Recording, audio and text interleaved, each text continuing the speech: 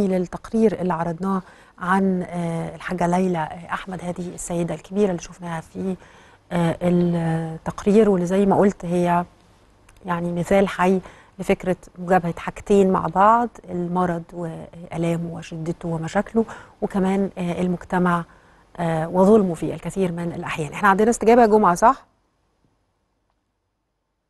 طيب ممكن تقولي إحنا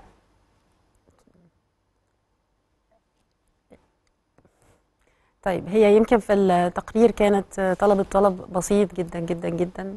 طلبت غسالة غسالة ملابس. خلينا نشوفها يا مصطفى. طلبت غسالة ملابس علشان تساعدها في الحياة. جات لنا استجابة من الأستاذ كريم حسن. بنشكره شكرا.